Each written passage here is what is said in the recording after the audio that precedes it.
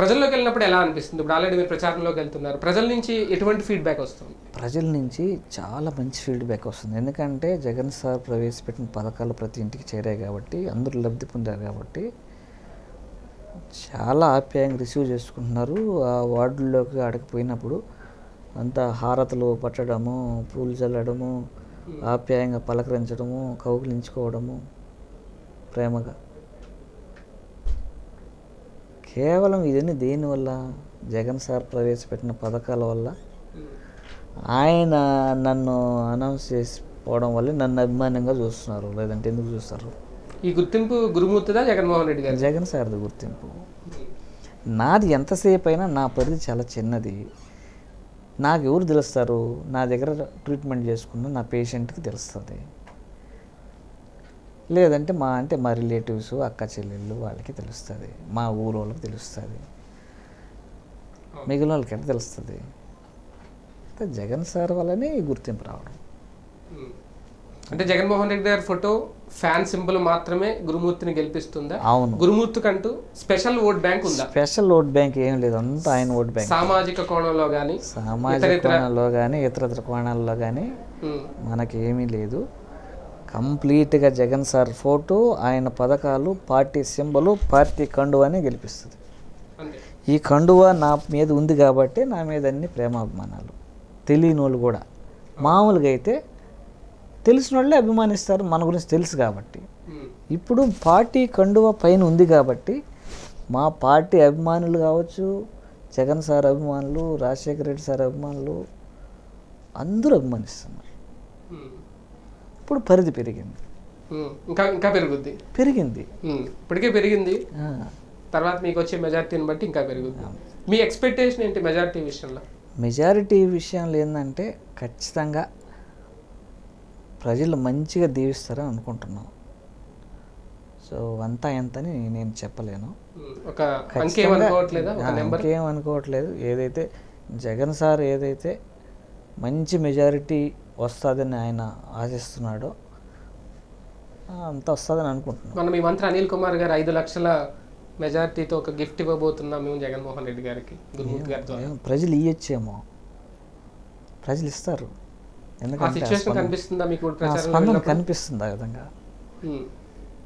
అంటే because of only సంక్షేమ పథకాల? సంక్షేమ పథకాలు డెవలప్మెంట్ రెండు. మీకు ప్రతి వార్డులో చూస్తే ఒక వార్డు సచివాలయం ఉంది. ఆడే వైఎస్ఆర్ హెల్త్ క్లినిక్ ఉంది. ఇప్పుడు ఏ పని కావాలన్నా ఆఫీసుల చుట్టూ పదే పది తిరగాల్సిన అవసరం లే.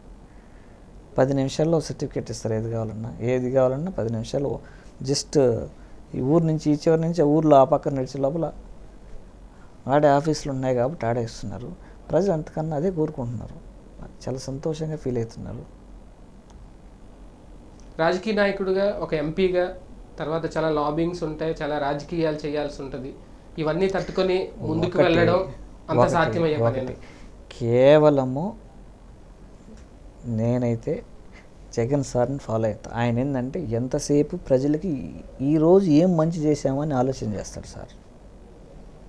ఆయన అడుగుజాడల్లో నడిచే నే- నా పందా కూడా ఈరోజు ప్రజలకి ఎంత మంచి చేశాం ఎంతమందికి చేశాం అనేదే ఉంటుంది తప్ప ఇతరత్ర విషయాల మీద ఫోకస్ అయితే ఉండదు. అంటే ఎప్పటికీ జగన్మోహన్ రెడ్డి గారు అడుగు జాడల్లోనే వెళ్తాను అంటారు. ఖచ్చితంగా. ఎంపీ అయిన ఆయన అడుగుజాడలు మంచివి. ప్రజలకి ఉపయోగపడేటివి ప్రజలు కోరుకునేటివి. కాబట్టే ఆయన అడుగుజాడల్లో నడుస్తాం. కొంతమంది ఎంపీలు అంటే ఒక ఎంపీ రెబల్ ఎంపీగా కూడా మారారు మీ పార్టీ నుంచి. తర్వాత ఆయన మాట కూడా మార్చారు. అప్పుడు ఒకప్పుడు ఆయన కూడా ఇదే ఫ్యాన్ గాలతో ఇదే జగన్మోహన్ రెడ్డి గారితో ఫోటోతో గెలిచానన్న వ్యక్తి అవి లేకుండానే గెలిచాను అన్నారు అది వాళ్ళ వ్యక్తిత్వాన్ని బట్టి ఉంటుంది. అంటే రాజకీయాల్లో ఒకప్పుడు ఉన్న మాట తర్వాత ఉండదు అంటారు. ఒకటి అదే విషయానికి వస్తే ఎన్ని కష్ట నష్టాలు ఎదురైనా ఎన్ని ఇదైనా జగన్ సార్ వైపు నిలబడతానే తప్ప ఇంకొకరి వైపు ఇంకొక డైరెక్షన్ వైపు పోయే ఆలోచన కానీ అవి కానీ రావు ఎప్పటికీ. ఎందుకంటే ఆయన ప్రజల మనిషి. ఆయన ఉంటేనే ప్రజలకు మంచి జరుగుతుంది. అలాంటి నాయకుడు ఇంకా రాడు రాబోడు. ముందు రామరాజ్యం ఎట్లా ఉండదని నాకు తెలియదు కానీ ఇప్పుడైతే జగనన్న పాలన మాత్రం ప్రజల్ని సంతోషంగా ఉంచుతూ ఉంది. బల్లి దుర్గా ప్రసాద్ గారి కుటుంబంలోని వ్యక్తికి ఇవ్వకుండా మీకు సీట్ ఇచ్చారు. ఎందుకు ఇచ్చారు అనుకుంటున్నారు అంటే మీకు పొలిటికల్ ఎక్స్పీరియన్స్ కూడా లేదు. కానీ మిమ్మల్ని ఏరి కోరి ఎంపీ అభ్యర్థిగా నిలబెట్టారు. మా దుర్గా ప్రసాద్ అన్న ఇప్పుడు మన మా సోదరుడు కళ్యాణ్కి కూడా ఎమ్మెల్సీ ఇచ్చారు. తను హ్యాపీ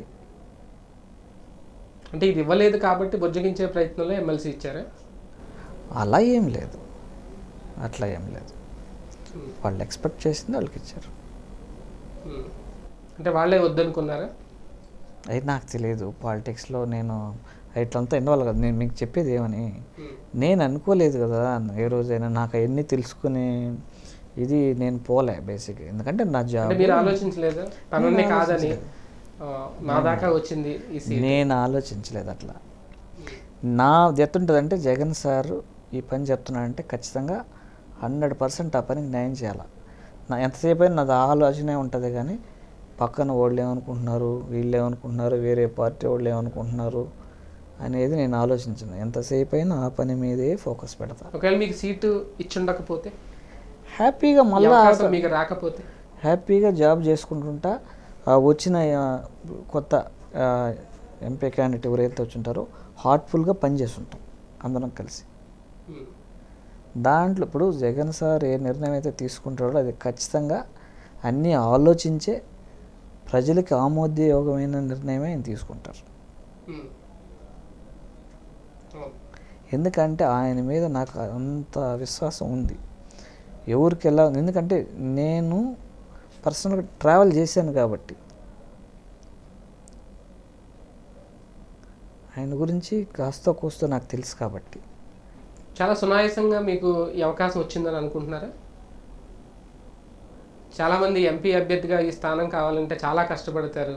చాలా ఏళ్ళు పార్టీలో కంటిన్యూ అయినా ఈ అవకాశం దక్కించుకోలేని వాళ్ళు చాలా మందే సార్ యొక్క ఆశీర్వాదం అంతే. ఆయన ఆశీర్వదించాడు అంతే అంటే ఈ స్థానం కోసం పోటీ పడే వాళ్ళు చాలా మంది ఉంటారు. వాళ్ళందరినీ కాదని మీకు చాలా సింపుల్గా వచ్చేసిందా ఈ సీటు? అదే చెప్పేది. జగన్ సారు ఆశీర్వదించాడు అంతే అంతా ఆయన దయ. అంతే. ఈ వీడియో గనుక మీకు నచ్చినట్లయితే లైక్ చేయండి షేర్ చేయండి. మరిన్ని వీడియోస్ కోసం మా ఛానల్ను సబ్స్క్రైబ్ చేయండి.